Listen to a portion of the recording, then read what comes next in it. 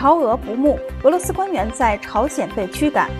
俄兵力不足，撤光北约边境百分之八十的军队。俄罗斯五地区公投要独立。菲律宾两大执政联盟现决裂，报中共策划挑乱菲国政局。击沉中共航母鱼雷发威，二十九国盟军南海逼近中共。波音竟用中国假冒钛材料造客机，家属起诉高管。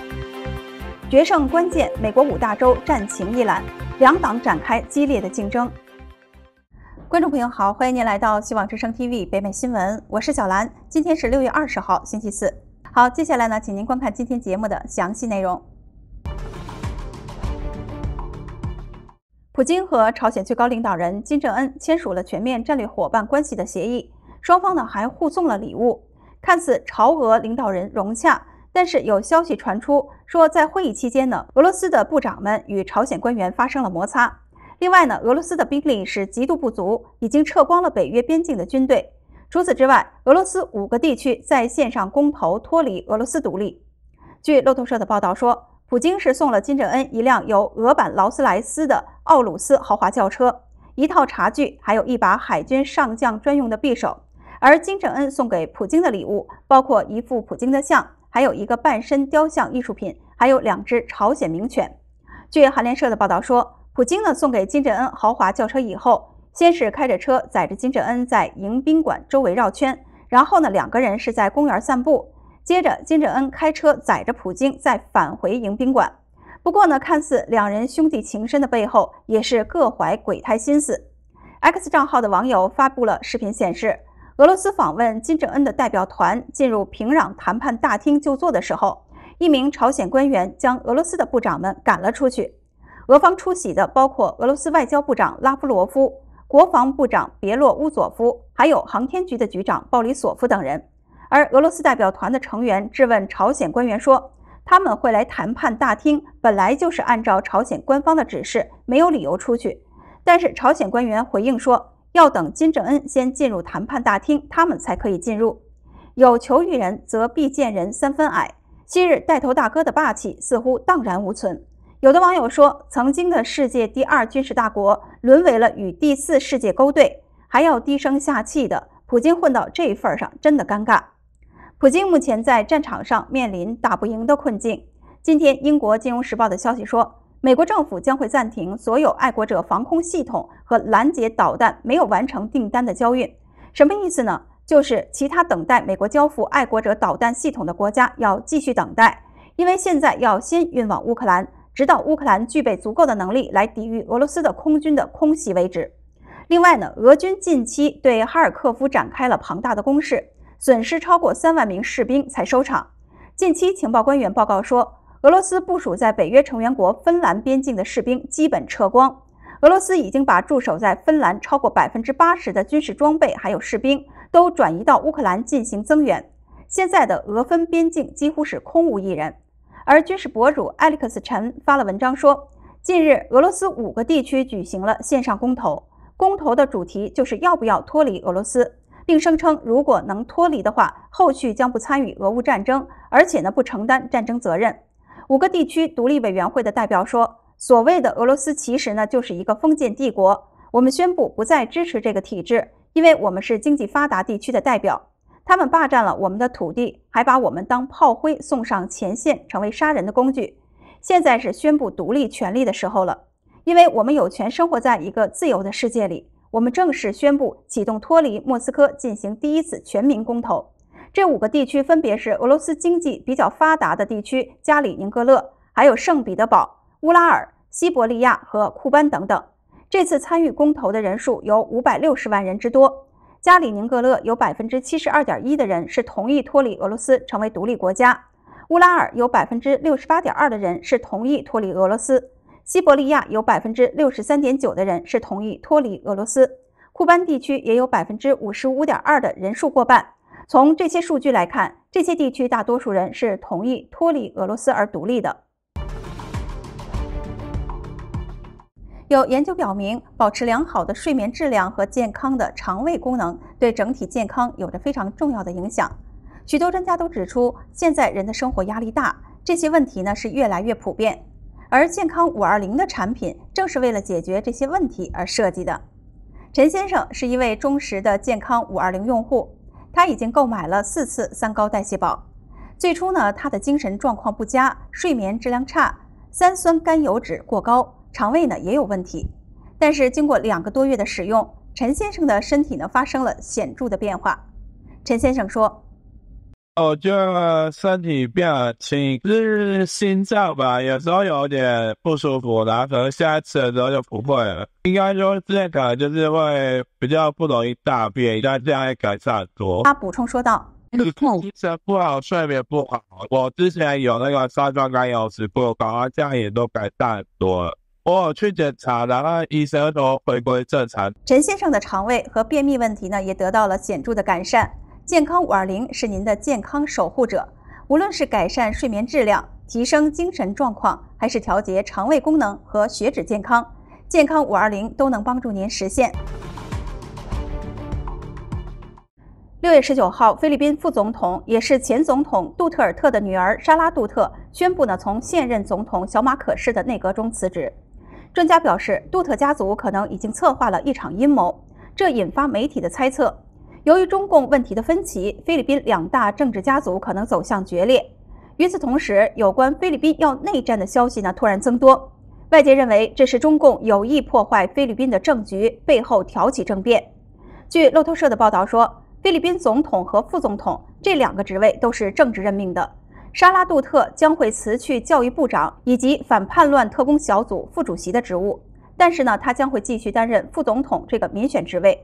而菲律宾分析家认为，这是杜特家族想让现任副总统沙拉·杜特取代小马可士总统之位。报道中说，沙拉与小马可士的联盟长期以来一直被认为是存有裂痕。由于对中共政策等等问题上存在较大的分歧，小马可士和前总统杜特尔特之间的矛盾越演越烈，所以沙拉·杜特的辞职举动并不意外。这不仅代表着这两个人的执政联盟走向破裂，也意味着菲律宾最重大的两大政治家族——杜特家族和小马可氏家族可能决裂，并将出现王朝对决，使得菲律宾变得两极化。菲律宾总统府通讯秘书加拉菲尔在一份声明中说：“总统小马可氏已经接受了沙拉的辞呈，并且透露他没有给出辞职的理由，但是将会继续担任副总统。”而沙拉呢，在当天的一场记者会上也表示。他选择辞职不是因为能力不足，而是因为真正关心教育还有年轻人。外界认为，前总统杜特尔特和现任总统小马可士的分歧很大。杜特尔特对中共较为友好。二零二三年七月份，杜特呢还以私人的方式访问中国，并和习近平会面，彼此称是朋友。而现任总统小马可士上台以后，与美国签署了战略同盟，并且明确与西方国家共同遏制中共在南海的决心。中共近期在台海的挑衅不断升级，十七号还发生了撞击菲律宾船只、携带利器打伤七名菲国船员的事件。就在国际社会纷纷谴责中共的同时，最近发现有关菲律宾要内战的网络谣言激增。据菲律宾《星报》的报道说，几天之内，六十多个社媒账户呢就发布了有关棉兰老岛独立运动的帖子，加剧了人们对菲律宾要内战、要分裂的猜测。而且这些假的消息正在通过例如官方媒体和利用亲北京的社群媒体网站把这些假消息放大，但这些信息发现都是符合中共灰色地带战略。马尼拉的德拉萨大学讲师吉尔认为，这可能与中共试图在南海冲突中操控舆论有关。中共希望通过挑拨社会矛盾来破坏美菲联盟。另外呢，中共在油管等等社交媒体平台上造谣，目的是通过传播来引发菲律宾国内的动乱，左右公众情绪，破坏菲律宾政局和社会的稳定，让菲律宾人相信是马尼拉正在挑起南海冲突。另外呢，在 X 平台上还有消息说，菲律宾与中共在南海冲突加剧，中共极度仇恨菲律宾现任总统小马可士，正秘密计划贿赂菲律宾的政客还有军方，推翻菲律宾现任政府小马可士。但是本台无法证实这个消息的来源。那您觉得菲律宾会发生政变吗？如果真的有政变，您觉得会是由中共策划的吗？如果您认为是的，那就在下面打个一；如果您觉得不是，那就在下面打个二，看看大家对此怎么看。在中非南海发生持械肉搏冲突之际，全球规模最大的环太平洋2024多国海上联合军演呢，即将会在六月底登场。美国媒体透露，这次演习的重头戏将会是击沉美国四万吨级塔拉瓦号两栖突击舰。这也是自从2005年以来，美军首次将这一类的航母的巨型战舰作为击沉演练的目标。这也显示着美国非常重视会与中共在太平洋地区爆发重大冲突。美国军事网站动力报道说，环太平洋军演中击沉演练在过去呢一直都是美军演练的项目，也和盟友一起积累测试了不同类型的反舰武器以及配套战术。而这一次选择四万吨级的塔拉瓦级两栖突击舰，将是为美军提供一次难得的机会：一是方便收集有关武器的打击效能。另外一方面呢，可以获得大型军舰对各种威胁应对能力的数据。资料显示，塔拉瓦级两栖突击舰主要是部署在西太平洋还有中东地区，曾经参与过波斯湾战争、阿富汗战争还有伊拉克战争。这个舰满载排水量达到四万吨，可搭载气垫船和登陆舰艇执行传统的抢滩登陆任务，也可以利用宽大的直通甲板起飞重型的直升飞机，进而发动垂直登陆作战。值得关注的是，塔拉瓦号与中共新款的零七五型两栖突击舰吨位相似，所以外界推测，所谓的击沉演练其实呢是剑指福建号。因为中共拥有山东号、辽宁号、福建号大型航母，所以这种大型船舰的威力是越来越大。美军这次击沉演练不仅是考验军舰的战斗力和反应速度，也是各国展示海上战斗力的战略意图。二零一八年，各国呢曾经演练击沉排水量达到五千一百吨的突击舰。当时，日本发射了陆基反舰导弹，澳洲呢是出动了鱼叉反舰导弹，美军是连续攻击和潜艇都加入了，而且呢是从空中、水面和水下多方面攻击，才成功的完成了这次击沉任务。所以，这一次要击沉四万吨的塔拉瓦号，复杂性和挑战性是更大。报道指出，预计呢这次潜舰会发射重型鱼雷测试如何一击致命。今年环太平洋2024演习呢将会从6月26号开始，持续到8月2号，将有29个国家和地区的40艘水面舰艇、三艘潜舰、150多架飞机和超过2.5万人参加。意大利和德国呢也会加入，还有荷兰、土耳其军舰呢已经是陆续的停泊在日本的港口，为军演做好准备。南海盟军串联大秀肌肉，就是要吓阻中共在印太地区的不断挑衅。美国波音公司近期因为频繁发生故障以及坠毁等等空中安全事故而备受质疑。波音首席执行官卡尔·霍恩日前呢已经被要求到参议院委员会作证，并受到两党参议员的严厉质询。据美国之音在今天二十号的报道，民主党参议员哈桑表示。美国联邦航空管理局正在调查波音是如何使用了一家中国供应商提供的假冒钛材料。哈桑问道：“是什么样的系统性失败，才使波音公司不仅购买了有问题的钛，并且呢获得材料以后没有能够意识到钛是不合格的，还将这种材料安装在飞机上？”卡尔霍恩说：“波音呢没有购买那些钛材料，应该是某个次级供应商购买了那批钛材料。波音不知道材料有问题。”也不知道为何有问题的钛会安装在波音的飞机上。共和党参议员霍利质疑波音在全球至少有六百家直接供应商，而仅仅在中国呢就有三十五家直接供应商，这可能导致了波音的质量有问题。霍利认为，波音飞机连续坠毁实际上与波音在美国或者公司内部不再生产产品有关。现在波音将飞机的生产、制造和专有技术外包到世界其他地方。而不是由美国工程师和工人自己来完成的，因此技术和质量都出了问题。而卡尔霍恩说，他曾经读过747机的年度报告，当时呢，波音飞机百分之六十五的部件是由美国国内制造商生产的。他还强调，波音呢是把更多的工作带回了美国，而不是把工作外包出去。从绝对水平看，波音在美国的工作占比高达百分之八十五以上。六月十九号，波音遇难者家属对二零一八年和二零一九年在印尼还有埃塞俄比亚发生空难的时候，负有责任的相关波音企业高层立即展开刑事诉讼，并处以两百四十八亿美元的罚款。美国国会小组调查委员会的主席布鲁门塞尔说：“几乎有压倒性的证据表明应该进行起诉。”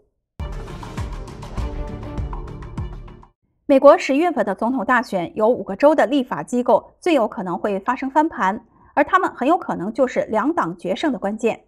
由于谁掌握了州议会，谁就有能力影响未来这个州的选举划分和投票制度。而亚利桑那州、密西根州、还有新罕布什尔州、明尼苏达州和宾夕法尼亚州这五个州，也就成为了决战关键。因此呢，共和党人和民主党人再次展开了激烈的竞争。先说亚利桑那州，被认为是2024年大选最为重要的州。共和党在州众议院和参议院分别只持有一个席位的多数。民主党一直是以堕胎议题来吸引选民的。但是川普呢，把堕胎权是留给了州决定，可能呢就很难打击到共和党。